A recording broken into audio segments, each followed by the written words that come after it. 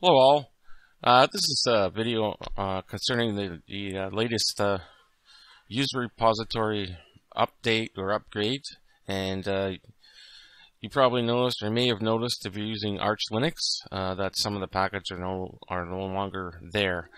Um, hopefully they'll return if the maintainer decides to keep the package and updating it.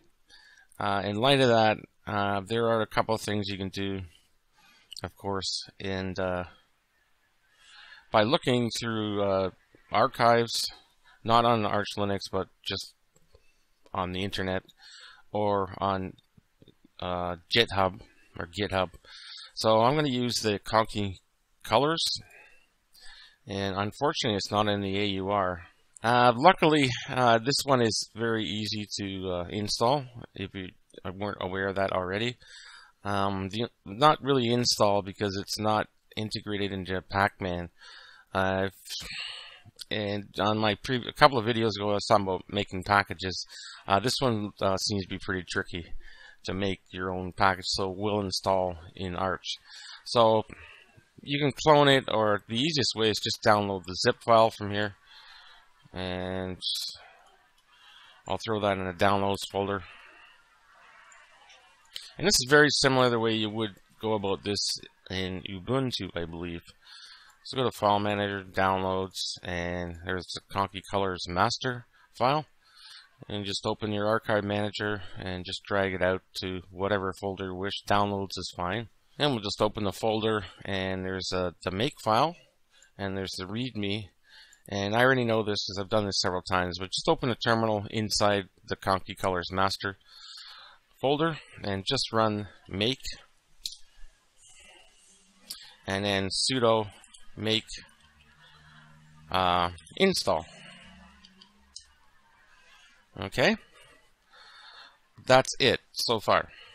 Um, so far, so good. So if you run uh, conky dash colors uh, CPU or just Arch, I believe, so if you run this script, it'll just put in your home folder, conky-c, your username, dot conkycolors, conkyrc. And if you use, you probably know this anyway, so. Okay, so that's easy enough to fix. It says conky not found, obviously. So just install um, conky through uh, Pacman, I believe. Yeah, there's. Okay, just run that command again. And there it is. It's running in the top here. Sorry, I'll zoom out. So it's a very simple and it's a well-written program, um, the make file and stuff, so it will work for you. Um, no problem. Control C to exit out of here for now. Alright, so let's take a look at and Grandpa Sunar. And I'll show you what I'm working on is uh, you just take each one as I just explained in the last example uh, look at the raw view because it's easier and uh, copy and paste and make sure it's the exact same name. And so what I've done here is in my home folders I created in Grandpa our directory and I took each one of the files that's in here and just mimic them or just clone them as you can see. So with any luck uh, you can open a terminal inside the uh, build directory and just type in make package dash s. And it would uh, hopefully it'll pass any kind of signature checks or anything. And you can see that it depends and it's building. So far so good. And uh, let's give this a couple of more seconds And there we go. It, look, it built successfully, so I imagine you could install that. So let me reload. Yeah, that's weird. Uh, there's two files here. So you want the this one here, of course, to install. And so I'll do that same command uh, just so we get a new uh, look at our packages.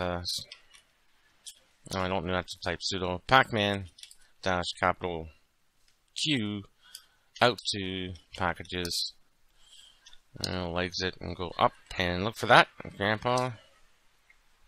And you can see that it's built uh, one one dot one one dot ten dot zero dash one, and that looks the same to me. Six uh, 64 bit. 1.10.0-1 and then of course the rest of the architecture package. And I did the same thing with X, XAIM. Okay, so the official site for this, uh, the applications menu uh, editor builder editor, I guess, uh, for XFCE, it does point to a, an Arch Linux user uh, link, but it's uh, I'll just click on it. It's not found. So what I did is uh, downloaded the Debian file and you have to get another program get from the user repository, which I believe is there. Is uh, and this is not building a package of any kind. Um, uh, deb deb to I'm not sure I have that installed. Deb to t tar gz. It, it is installed. Here it is here, and it's it looks a lot different because it's uh, Ubuntu based. So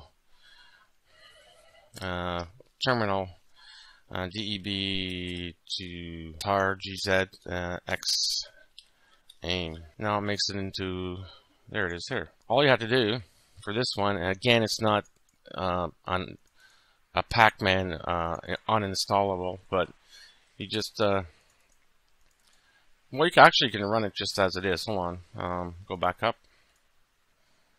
So we'll take this USR, drag them out. So it's in the bin is the executable. Properties, permissions, allow executing. So we'll see what happens. Let's just open a terminal, xaim. Oh, I'm gonna have to put a dot x. I'm not sure it'll work. So say Adobe Flash Player. I want to hide this. Say I'm not sure if it'll save and save changes. Yep. So is Adobe up here and wherever it was. Nope, it's gone. So there's a few examples of working around things that are no longer in the uh, AUR, the Arch Linux user repository. For some reason, if they're not updated, or it's like somebody's dropped maintenance or whatever, um, you can, to some extent, get some of those programs back and working, um, basically, through various means. All right, so uh, that should do it for this one. I hope this helps out anybody that's uh, wondering what you know, what can I do without my user repository package? Maybe this will help you. And uh, thanks to everyone for watching and uh, have a great day and great evening now. And uh, we'll talk to you soon. And bye for now.